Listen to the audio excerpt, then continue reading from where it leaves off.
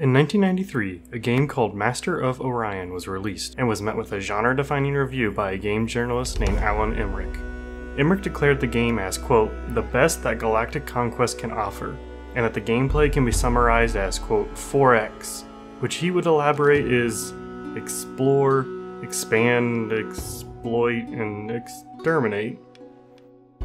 Bad spelling aside, there have been lots of games to flood the newly deemed 4X style of game, including Civilization, which predated Master of Orion by about two years.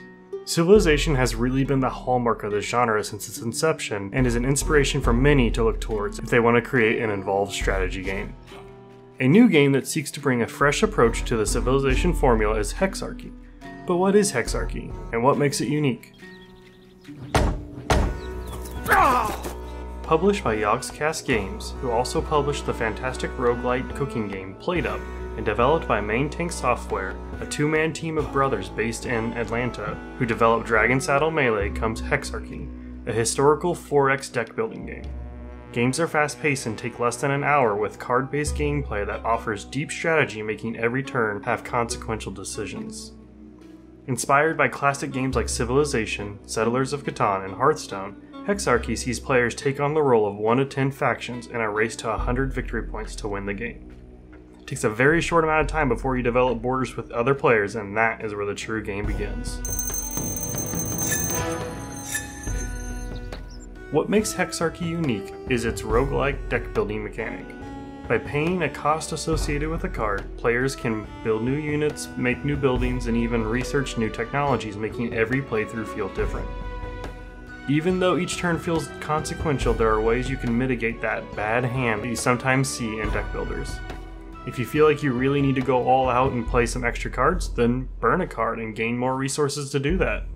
Burning cards not only gains you more resources, but also gives you the ability to get rid of unwanted cards by permanently removing them from your deck, making your deck run more efficiently. The opposite problem can occur where you have too many resources, and you need to use them or lose them. Well, you can always sell your resources for gold, or even use your gold to draw more cards to be able to do more with your turn. Not only can you sell resources, but you can also buy resources from other players to be used as you see fit. Every turn feels like you have everything you need to squeeze the maximum out of each turn as you cover your own tiles and lavish buildings and push to demolish your foes to reign supreme.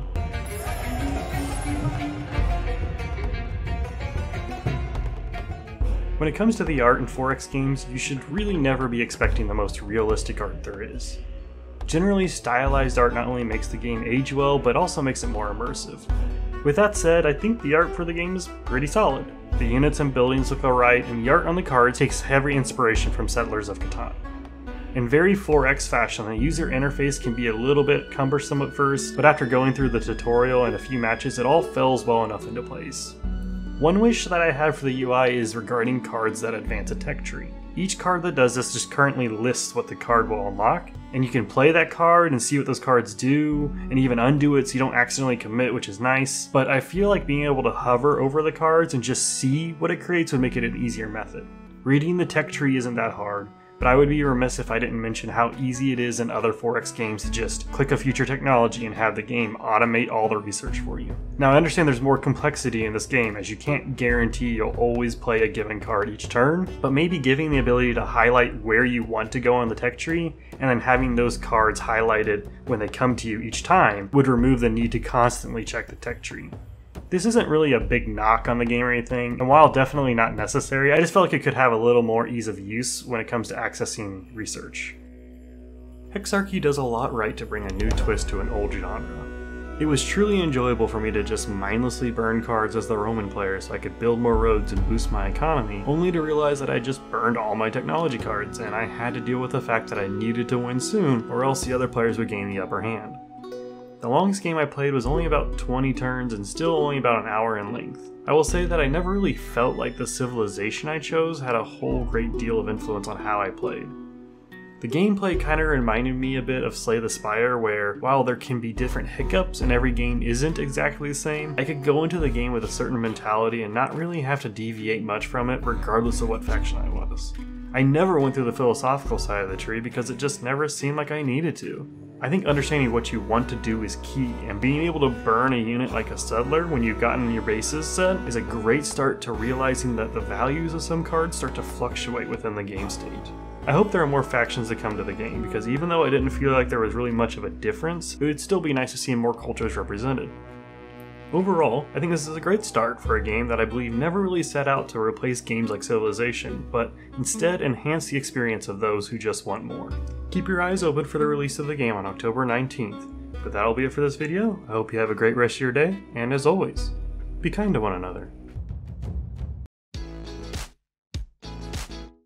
Just real quick, I wanted to thank my Patreon subscribers and everyone who supports me for putting up another hiatus of mine. I will make sure to be better about things now that I have a better job and have better scheduling, and I will look to be a little bit more consistent as well as throw in new types of videos. I will see you guys in the next video.